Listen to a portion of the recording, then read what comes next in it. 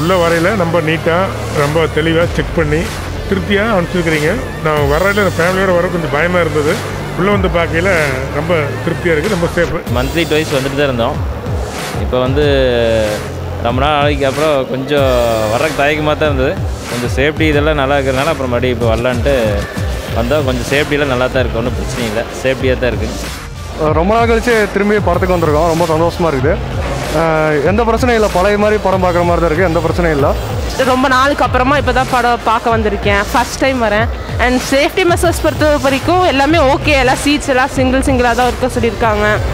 Gap இருக்குது நடுவில். படம் பார்க்கறது மொபைலில் எப்படி எப்படியோ நம்ம டிவியில் எதுலேயோ பார்க்குறோம். இருந்தாலும் தியேட்டர்லேருந்து பார்க்குற எக்ஸ்பீரியன்ஸ்னு அது தனின்னு தான் சொல்லணும்.